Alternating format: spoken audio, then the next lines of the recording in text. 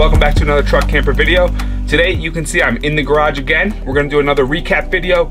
This time talking about getting the camper mounted to the truck for the first time. Gonna cover some of the initial steps to mount the camper to the truck, talk about what the truck needed, needed some brackets and some airbags, and talk about that whole process of just getting the camper ready for the first time. If you're new to this channel, thanks for joining us. If you're not, welcome back. Appreciate you coming back again. Uh, this is the second part in a new series where I am just sitting in the garage with the camper. Uh, since I'm not out camping right now with my newborn child, I spend a lot of time at home, but we're just recapping a lot of the work I did before I started making videos. The most recent video, the one right prior to this, uh, recapped how I bought this camper for 300 bucks, how I spent a long time looking for a camper just like this, and how excited I was to finally get it. So if you haven't seen that video yet, I would suggest you go check it out. I also talked about how I bought this camper really in the first place to use for mostly skiing, and how incredibly excited I was to have this camper. But once I got it home, and once kind of that rush of buying it for the first time wore off, I started to see maybe it needed some more work than I originally thought. But with all that, I'm so super excited to have purchased this camper. I absolutely love having it. And today we'll just get right into those new topics. So without any more, let's get started.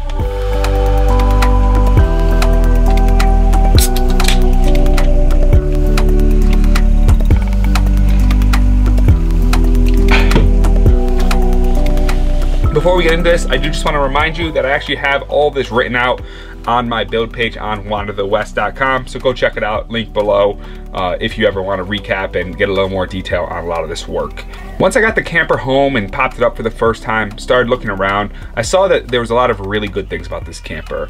The good thing was that there was no major exterior interior damage, so that was a great start. Also, the canvas appeared to be relatively intact.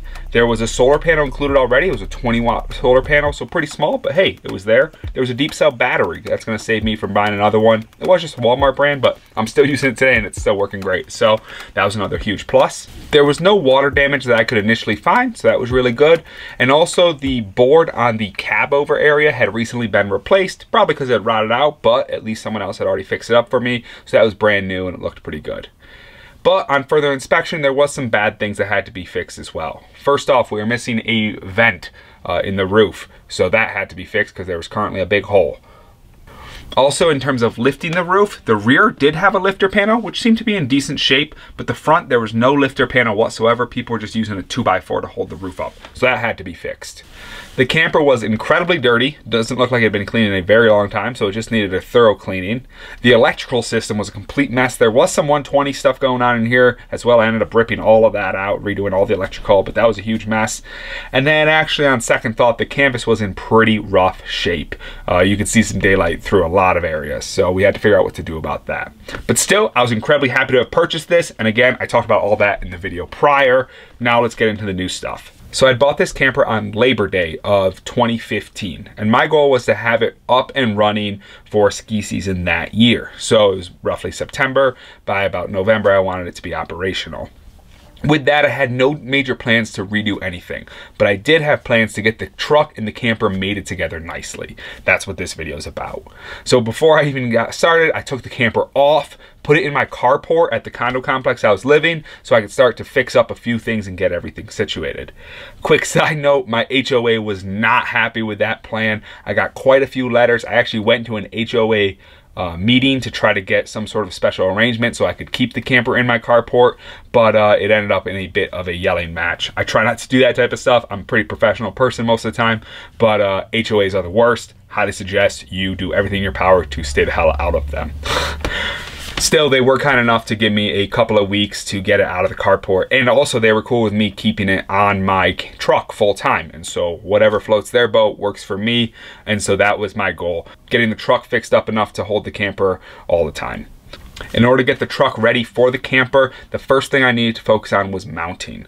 Like I said before, when I brought it home, I was just using one single strap around the hooks for the tailgate absolutely not secure or safe. I wanted to get the proper mounting brackets. Now, I have a whole video that I just made actually a few months ago about mounting the camper to a Tacoma, but the gist of it is that the new Tacomas have composite beds. Because of that, you can't really drill holes in them that are structurally sound. So, Four Wheel Camper makes a special bed bar that uses the existing mounting holes for mounting the bed to the frame. It uses those holes and those bolts to mount this extra bar that then gives the camper a place to mount onto as well. I actually still have those bars for sale, so if anyone's looking for them, get in touch with me. I was actually super, super fortunate. I reached out to Chris down at Rocky Mountain Four Wheel Camper down in Denver and told him I was looking for some of these bed bars, and he actually had an old set lying around that he sold me for the cheap. So I brought those home, I cleaned off some of the surface roughs, I painted them up again, and they were good to go.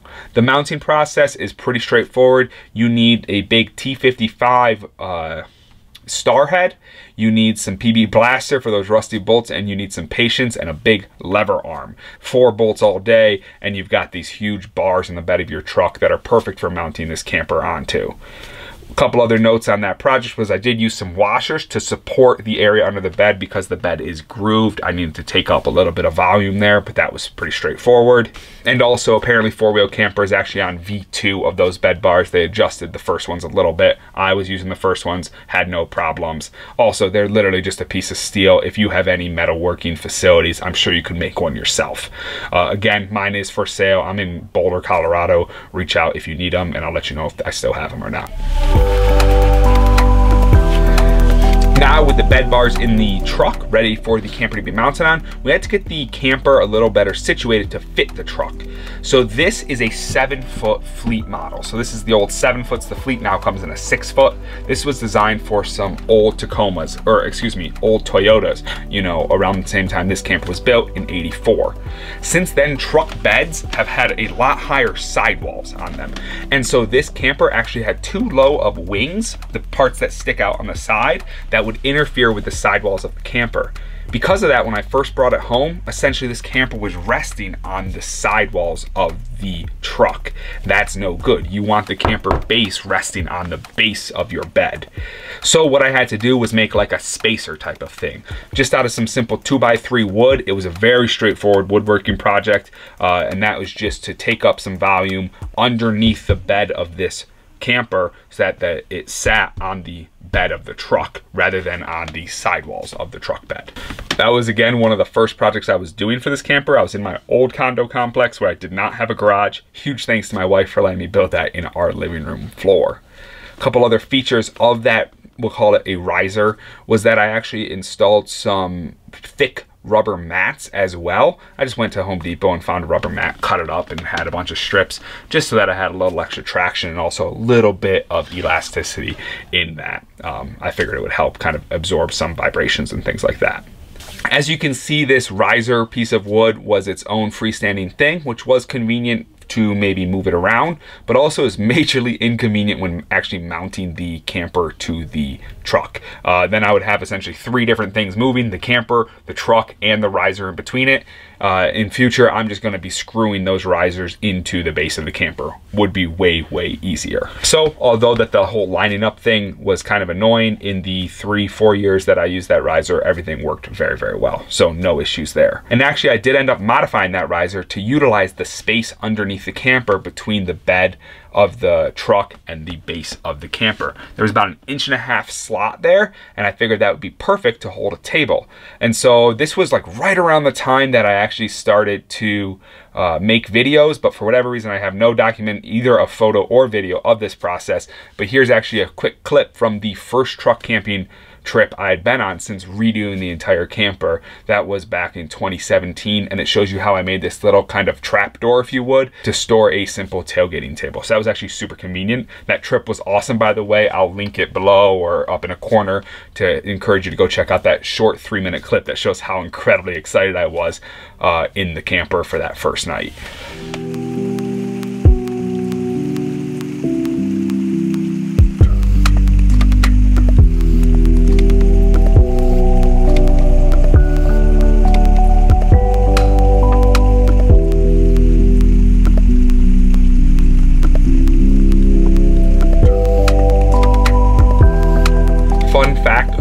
Trip. The pull-out bed actually broke on that trip. I had originally had very small pieces of wood to support the bed pull-out, and those were not sufficient. Everything kind of cracked under load, so that was no good. We ended up sleeping on the floor here. Again, that was our first trip since redoing the canvas and a, a, big portion of the camper. So I definitely threw a bit of a tizzy fit once that broke. I was super upset at myself. Uh, I think I called this camper my fortress of failure or something like that. Uh, but it was a good learning experience. The bed is extremely secure now. I beefed up those support pieces of wood and uh, it goes to show my personal motto is uh, celebrate success, acknowledge defeat, and grow. And we definitely had to do a bit of those last two after the bed failed on the very first trip. So after that trip, let's loop back to really 2015 when I just got in this camper and we now already have the brackets in the truck ready to hold this camper down, but the truck also really needed some suspension modifications. So I'll take a quick second to explain what my thought process was on this. I went back and forth, back and forth between either new or extra leaf springs or airbags. Originally, I had thought I would take this camper on and off my truck bed pretty regularly, and because of that, I decided I wanted airbags. It turns out once I finally use this, I almost never take this thing off my truck, probably because it's kind of a pain in the butt sometimes, but regardless regardless, the airbags actually work pretty well. So I actually just went on to, uh, what is it, Tacoma World and looked for someone selling a used airbag system for the second gen Tacoma like I used to have. And I was able to pick up a uh, Firestone Ride-Rites for almost nothing. Actually, those Ride-Rites came with uh, both riser blocks for the rear and the front. Um, and I actually didn't want the front riser blocks, even though I have them in my new truck now. Um, and so I sold those and actually got that whole Ride-Rite kit for almost nothing. Uh, in the rear, I did still have an inch riser block, but honestly, it did help a little bit. And then those airbags as well.